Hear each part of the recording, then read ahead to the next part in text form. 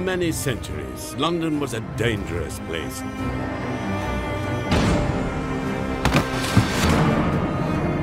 It was a magnet for the very worst kind of people. Jack the Ripper dominated the headlines. But he wasn't the only killer around. Murder was afoot. The fear of death was everywhere. But police had their work cut out to track the culprits down. In this series, we'll be investigating some of the country's most notorious and intriguing crimes. The female defendant. Sexual intrigue, vicious murder, as well as the latest technology, fed the nation's insatiable desire for gruesome stories of London's dark side.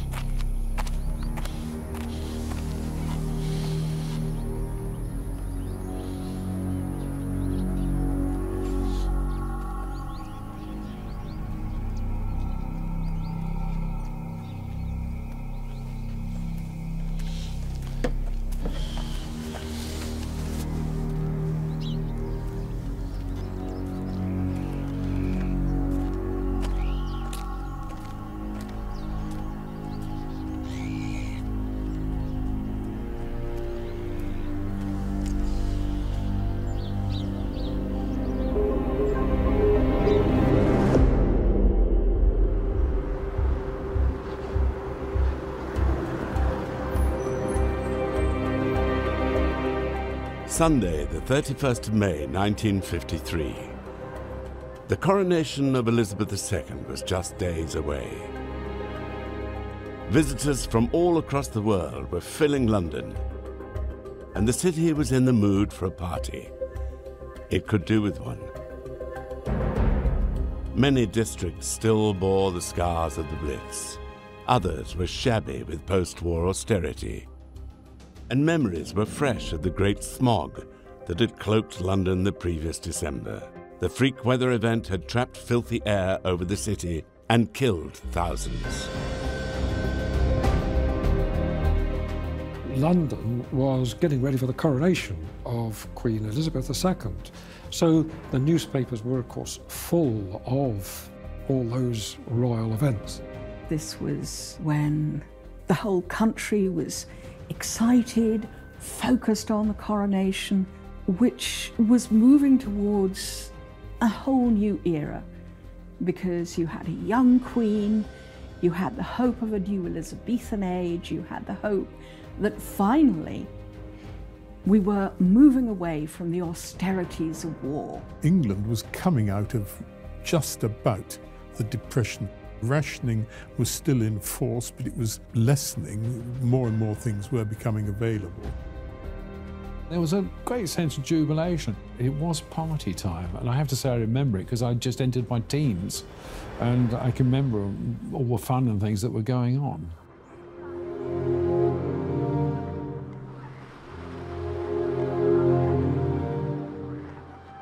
The country was enjoying an extended spell of warm and dry weather. In the West London town of Teddington, the public swimming pool was packed.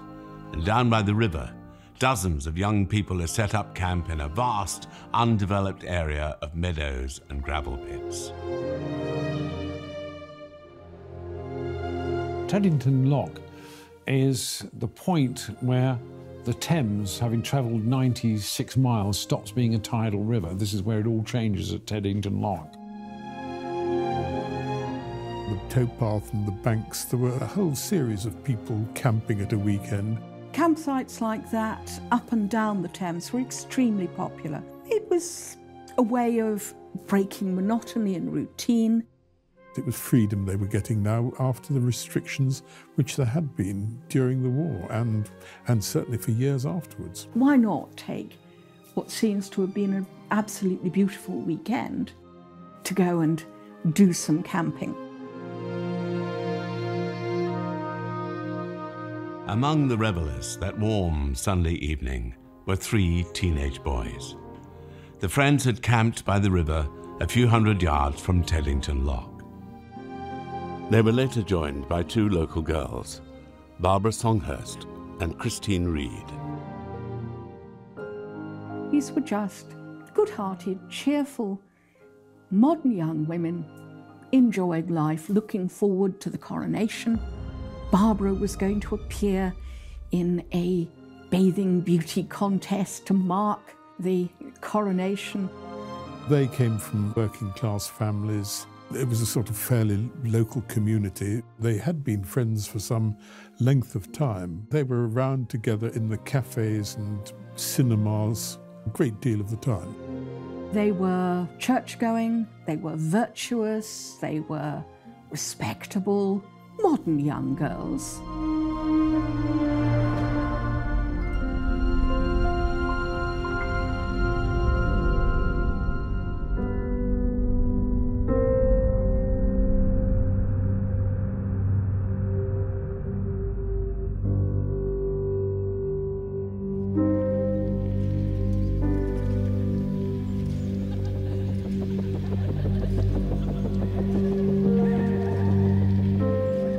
Sunday, the 31st of May, the girls decided to take advantage of the clement weather and set off on their bikes toward the rural area around Teddington Lock.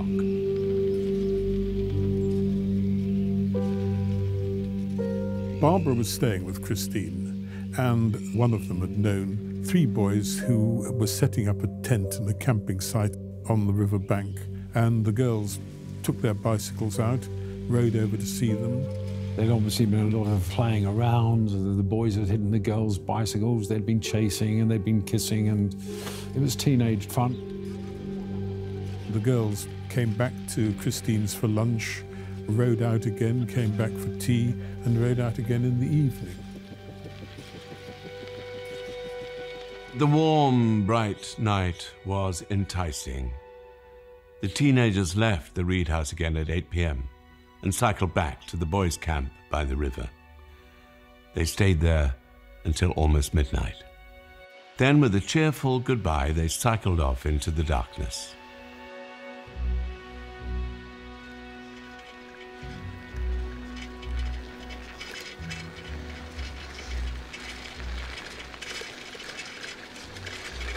See you tomorrow. See ya.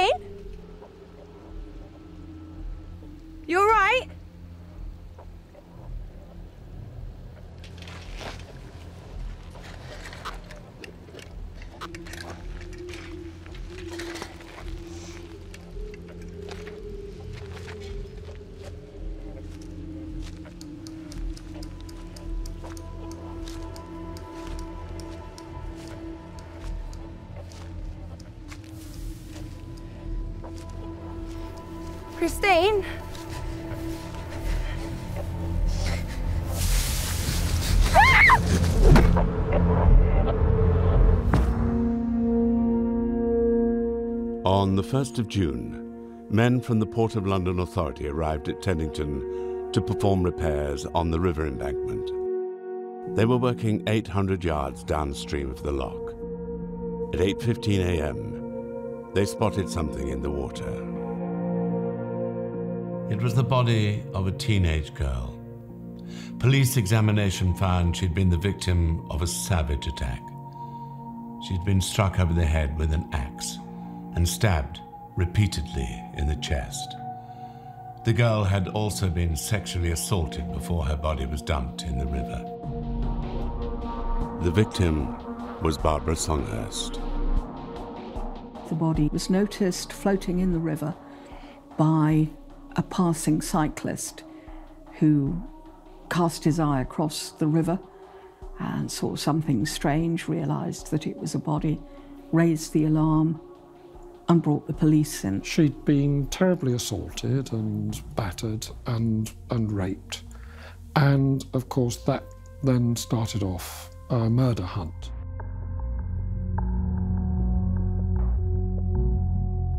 Detective Superintendent Herbert Hannam of Scotland Yard opened a murder investigation. Bert Hannam was a Londoner. He was a short man, but stiff backed and broad shouldered. He was an imposing figure all the same. There was something aristocratic in his bearing, which he enhanced with dapper suits and smart gloves. Press and colleagues nicknamed him the Count. The investigation started with uh, Herbert Hannam, a detective superintendent from Scotland Yard, very experienced detective. Hannam said he was going to search the river and wanted it dammed. And apparently, according to the Daily Express, 20,000 people came to watch. The murder scene was soon found. Teddington Lock. Blood stained the gravel of the towpath. There was more splashed over the grass and soaked into the earth nearby. Hannam had no doubt. This was where the young woman was attacked. Scattered in the wild undergrowth beyond the footpath, they found first one pair of women's shoes, but then another. Police were no doubt that these belonged to Christine Reed. Two days later, Christine's bike was recovered from the Thames. It would be another four days, however, before Christine herself would be found. On the 6th of June, a week after the murders, the police team dragging the river reached Glover's Island. It was there, two miles downstream from Teddington Lock, that Christine's body was discovered. Like Barbara, she too had suffered blunt head injuries. She had been stabbed over ten times and brutally raped as she died. The violence of the attacks shocked even experienced police. Chief Inspector Hannam's investigation soon became one of the largest murder hunts England had seen for years. The press, fed by twice daily police briefings, followed every development. The search involved dogs, mine detectors, and draining part of the river. But no trace of the murder weapon was found. And Barbara's bicycle remained missing. Police feared the killer had fled abroad. The press speculated he would soon strike again. A week after the gruesome murder, a 49 year old woman was walking her dogs alone in Windsor Great Park when she was grabbed by a man. He told her he had a knife and knew how to use it. He tried to drag her into the bushes, but she struggled. Her attacker gave up and fled the scene on a bicycle. The woman later described to the police the powerfully built young man who had assaulted her. The News of the World put up a thousand pound reward for information. It must have been a local man. It was a man who was an expert knife thrower. Also, he had a cleft chin, and this was starting to match up with the identification of the woman who'd been raped. It's not just the police who are instituting their inquiries, going house to house. It's the reporters doing it as well. So they are interrogating all the young men of the area saying, Who do you think did it? Who do you think did it? That's where one of them is prompted to say, Well, if you're looking for a suspect, the kind of person I would expect is that chap there. He's a bad lot. The officers found the man as promised on Oxshott Heath. His name was Alfred Whiteway. He was 22 years old. The police asked him to accompany them for questioning. They placed Whiteway alone in the back of the car and drove him to Kingston Police Station. He was searched and questioned. The questioning came to nothing. Whiteway was released. But he would soon come to the attention of Herbert Hannam and was hauled in and questioned again, this time by Hannam himself.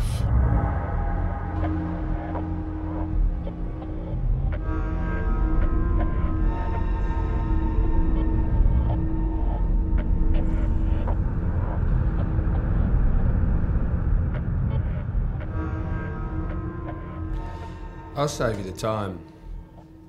When that job was done, I was with my wife. What time was that? The job? 11, wasn't it? I read it in the paper. Well, tell me more about it then. Well, all I can tell you is that I was indoors with the missus until 11.30, so it couldn't be me now, could it? How do you know you were indoors until 11.30? I know I was. I talked about it with the wife. You talked about it with her? Yeah, she'll tell you. Why were the two of you discussing your whereabouts? Because she asked me. You said you were with her. Were you not together? Yeah, Then why did she ask you where you were? I don't know, do I?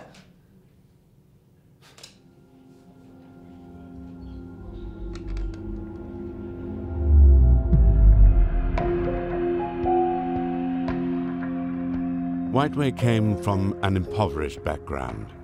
He was born in London on the 21st of June 1931. His mother was a domestic servant. His father would die of cancer when he was just 14. From a young age, Whiteway had trouble with the law.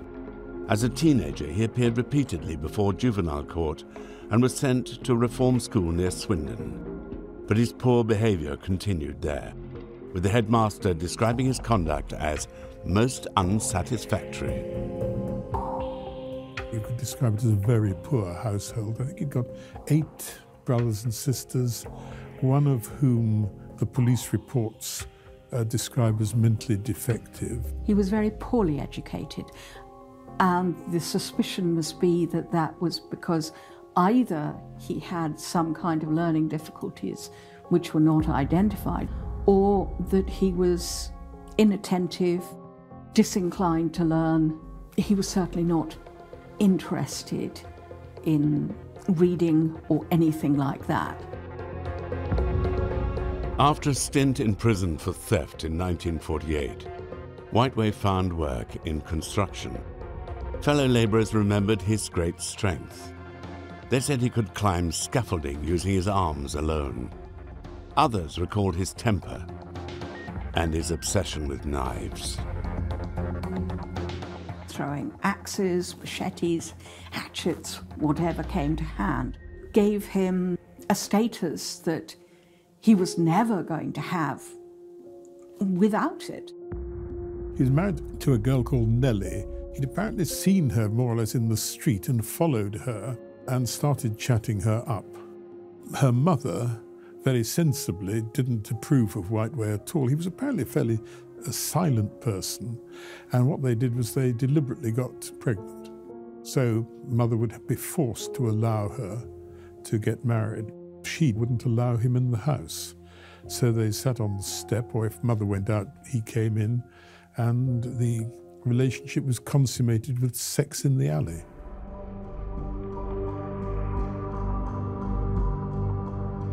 By May 1953, Whiteway was a married man with a little girl not yet two and a second child on the way. He did not live with his wife and child, however. His in laws disapproved of him, and he was forced to live with his mother, uncle, and siblings in a cramped, terraced house on Sydney Street in Teddington. It was less than a mile from the scene of the double murder. There was something about Whiteway's unusual domestic setup which prompted Hannam to dig a little deeper into his supposed movements on the night of the murders. So, you left your wife's home at 11:30 p.m. and then cycled to your mother's. Yeah, Which way did you go? usual way. Over Kingston Bridge, Sandy Lane. Did anyone see you leave your wife's house? No, Did anyone see you on the bridge? no. Did anyone see you at Sandy Lane? Look, no one saw me until I got home, all right? Of course. It was late. But someone did see you when you got home then. Yeah, my Uncle Charlie. He'll be able to confirm that, will he? Yeah. I got in just before 12. He'll know. He looked at the clock. Very well. There was no rush to secure a confession. Whiteway was being held on remand for the assault in Windsor Park, and he had already admitted the violent rape of a teenage girl earlier that year. Hannam compared Whiteway's alibi with statements given by his wife and mother in law. There were countless discrepancies. Whiteway's account of his movements on the night of the murders was falling apart. In the summer of 1953, police in London were investigating a double murder. Two teenage girls had been sexually assaulted and killed on the towpath at Teddington Lock. Their bodies were thrown into the river, where they were found days later. The police's prime suspect was Alfred Whiteway. He was being held in custody on charges of sexual assault, and his story as to his whereabouts on the night of the murder was just not adding up. Chief Inspector Hannam was slowly but surely building a case against Whiteway. What were you wearing that night? Shirt, gabardine trousers, the ones the police took, the green ones, What else? a rain jacket, and these shoes. We'll have to take a look at those too. While the interrogation of Whiteway continued, police, along with the pathology team, were building up a criminal profile and identified that their suspect would have had a keen interest in knives and possibly a talent for throwing them. This theory was consistent with the wounds suffered by both Barbara Songhurst and Christine Reed. There were wounds on her skull, which indicate that he used the axe. He proceeded to rape both his victims and subsequently stab them. They were stabbed and they were both axed. There were stab wounds in the back, and this led to a theory that he had thrown the knife at Barbara. Possibly both girls were murdered because Whiteway recognised Barbara Songhurst and thought that she might identify him. She was working as a chemist assistant in a local shop, so possibly that's where she had seen him or he had seen her. We have to speculate that Alfie realised he had miscalculated, that he hadn't stopped a completely unknown girl, that she had a companion, and that companion was known to him. And more than that, she knew and would be able to identify him. They were in the wrong place at the wrong time. It was the sexual assaults on the victims which led Hannam to Whiteway. A series of rapes and attempted rapes had plagued the area at the time. Whiteway had been identified as the perpetrator and charged by a separate police unit. On learning of Whiteway's crimes, Hannam had decided to question him about the murders. After already several attempts at trying to crack Whiteway, Hannam could not have imagined how tough he would be to convict. Further interviews followed on the 3rd, 8th, and 15th of July, and everyone Whiteway denied involvement in the murders. His home was searched. but no trace of the murder weapons was found. Hannam was sure he had his man, but he still didn't have the evidence he needed to be sure of a conviction.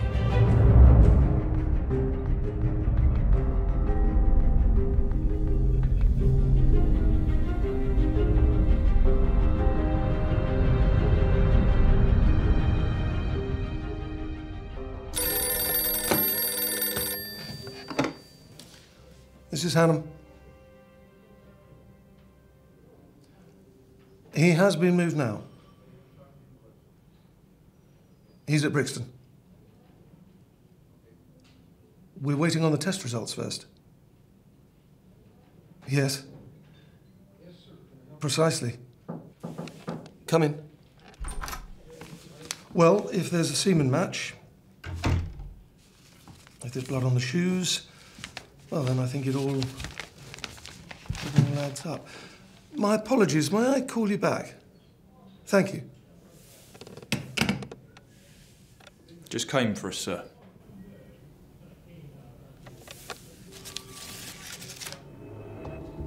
You won't believe where it's been. Hannam was convinced he had the murder weapon. But to be sure, it was sent away for forensic investigation, a lengthy process in those days.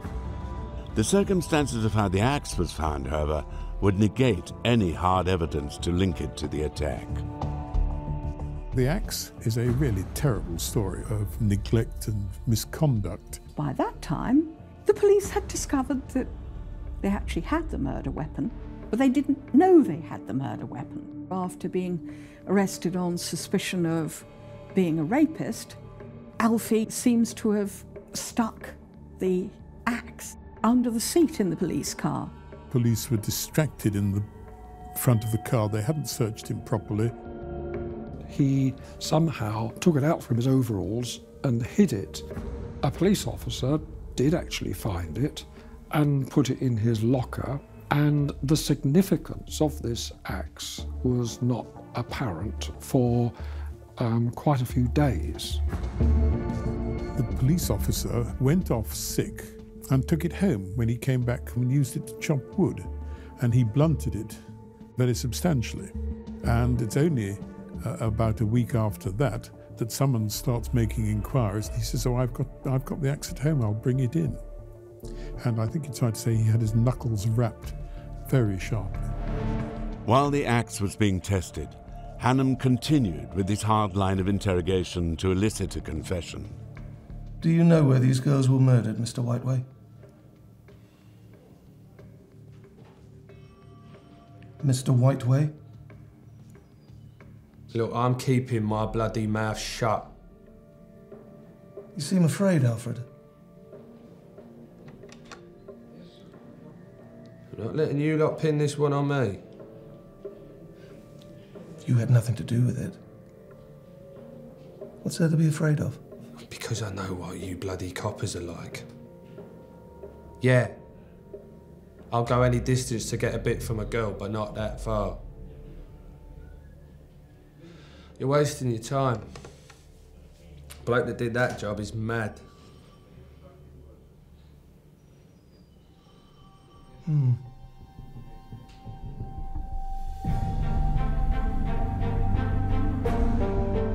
Whiteway's clothing had been sent for forensic testing. By modern standards, this was basic. Although the structure of DNA had been discovered that year by Francis Crick, James Watson, and Rosalind Franklin, it would be decades before genetic profiling could help police investigators. What could be detected in 1953, however, was the presence of blood. And it was blood which would become crucial in the investigation of the Towpath murders. But would it be enough?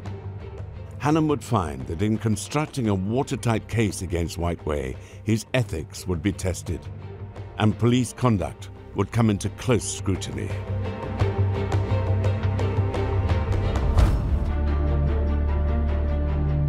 Chief Inspector Hannam was frustrated.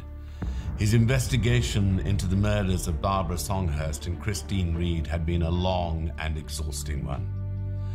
Now, at least he had a suspect in custody Alfred Whiteway, a 22 year old labourer who lived less than a mile from the murder scene.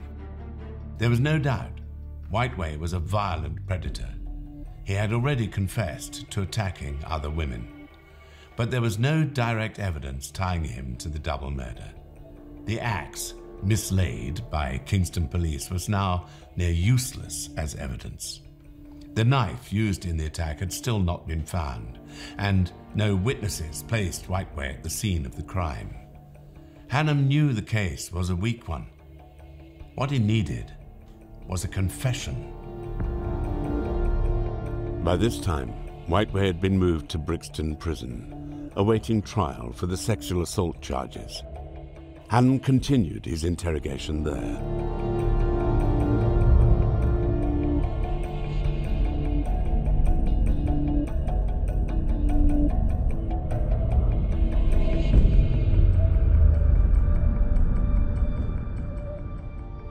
I told you this already. I had a row with a wife, and I didn't leave her until 11.30. Was your wife's mother in when you left? How the devil do I know? I don't go in the house. She hates me. I see. I can tell you your wife's mother was there that night. And she insists your wife was in bed by 11 p.m. Well, she is a bloody liar. I was with my wife at 11.30. We had a cup of tea on the back step.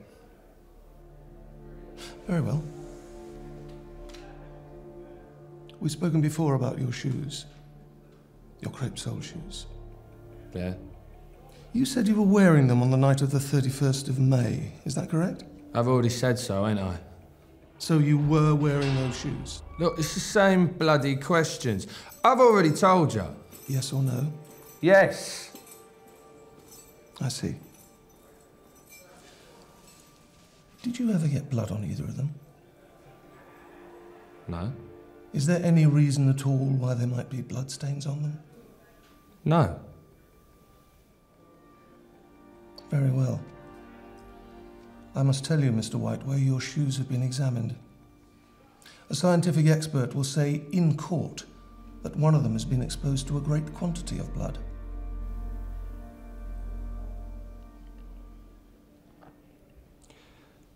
Well, if they're saying that, then they're liars. Ain't got no blood on them.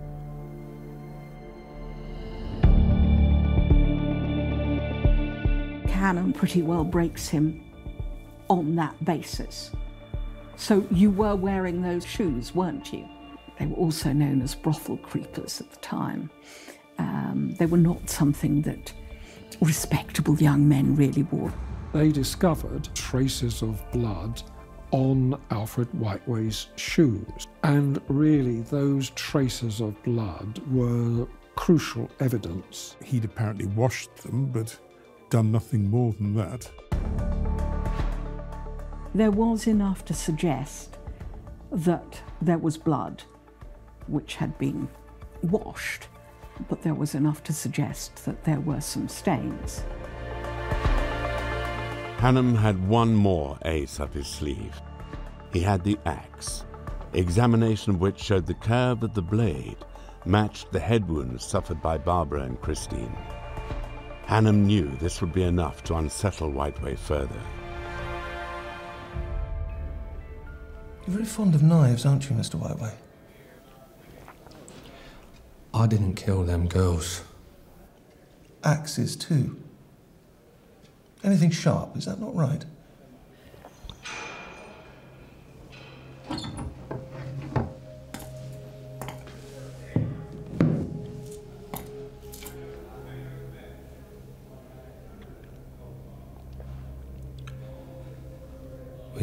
About that blood being on my shoe?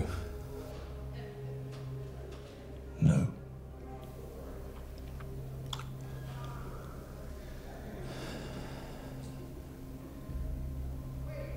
What a bloody mess.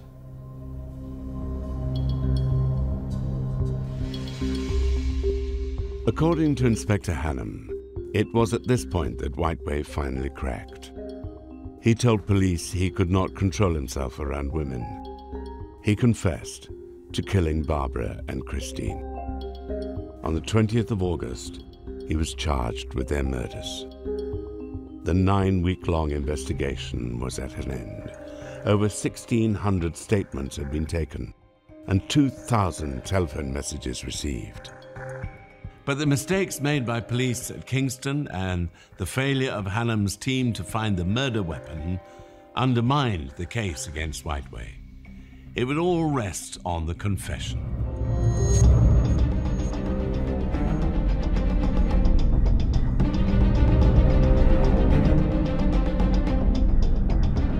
Whiteway's trial began on the 26th of October 1953. The confession secured by Hannam became the battleground in court. Defense barrister Peter Rawlinson subjected the chief inspector to a grueling two day cross examination. It was, in the words of one newspaper, the duel at the Old Bailey. Rawlinson accused Hannam of manufacturing Whiteway's statement and tricking the young man into signing it. Whiteway said that he never made this statement. What happened was that he was given a set of sheets of paper. He was asked to sign them and told where to put his signature. But he's saying, in effect, that he was verbaled. Verbaling is what is called noble cause corruption. If the police know, quote, know, unquote, that somebody has done something and there isn't the evidence to back it up, they don't think they're doing anything wrong by helping convict a man whom they know did it. And this would be perhaps sometimes planting a bit of evidence on them. In this case, it was just the, the verbal confession. The whole defence was questioning the integrity of the admission of guilt that he made when he was confronted with the axe and the bloodstains on his shoe. This line of defence that the prisoner has been verbal is not unique. What sometimes happens is that the prisoner makes a statement, not realising the full significance of everything he or she is saying. And it's only when this has been pointed out to them by their solicitor or defence counsel that then they come up with their defence this is a false confession. Police interviews were not recorded at this time. The only evidence to corroborate Whiteway's confession was Hannam's notebook and those of the other officers present. This was standard practice. It was not until 1991 that tape recording of interviews by British police became the norm. Hannam, of course, denied Rawlinson's accusations. He called the suggestion of police misconduct terrible and absolutely untrue. The judge and many onlookers criticized Rawlinson's approach.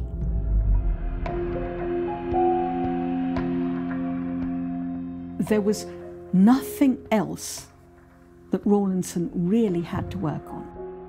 He couldn't stand up and say, My character is a pillar of the community. So the only thing you can do is discredit the police case. And that is what Rawlinson does his best to do. And actually, by all accounts, did a pretty good job. Jury was out, what, 45 minutes, I think, under the hour. And one of the interesting things is they sent in a question saying, when Hannam produced the axe, how long did he have it on the table before Whiteway? And when Whiteway signed the confession, had he still got it on the table? Presumably because that would have intimidated Whiteway. But if he'd put the axe away, then there was nothing for Whiteway to be scared about. What undermined the effectiveness of that part of the defence was that Alfie was such a bad lot, and so clearly such a bad lot, that the jury overlooked what otherwise, in another case, could have brought the prosecution case crashing down. At the end of the six day trial, they found Whiteway guilty. He was sentenced to death. Following the trial, there was outcry over the tactics of the defense. For many, questioning the word of a police officer was beyond the pale. But in decades to come, the skepticism expressed by Rawlinson in court would spread. Bribery and corruption scandals engulfed elements of the London police in the 1970s. Internal investigations discovered police profiting from crime they were meant to be preventing. Officers took bribes, ensured charges against guilty men were dropped, and fabricated evidence against the innocent. His appeal was not successful. The only grounds for appeal in the English criminal justice system is that the law has, in some ways, not been properly followed through, that the case has been improperly handled, that evidence has been suppressed. Rawlinson's appeal was on the basis, it had to be on the basis, not that the jury was mistaken, but that the confession was forced out of him. It's actually perfectly possible that that is the case, but it was held by the court, by Lord Chief Justice Goddard, that there wasn't grounds for an appeal. There was no general outcry as there was, for example, with Ruth Ellis and other cases. No, he was not regarded with any sympathy at all. And if he's convicted of two rapes and murders of girls, and the other rape and the attempted rape were left on the file, there's not a lot of room for sympathy.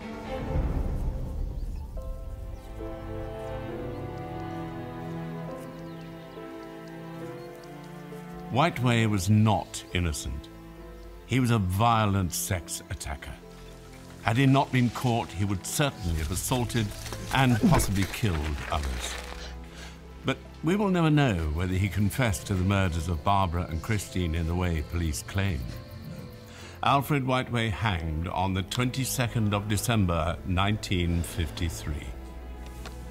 A few years later, after his retirement from Scotland Yard, Bert Hannam had advice for his former colleagues. Police, he said, should have the courage to do things the law forbids. What mattered to Hannam was seeing justice done, however it was reached. But no justice can truly compensate for two teenage girls who left home one Sunday morning with all their lives ahead of them and never returned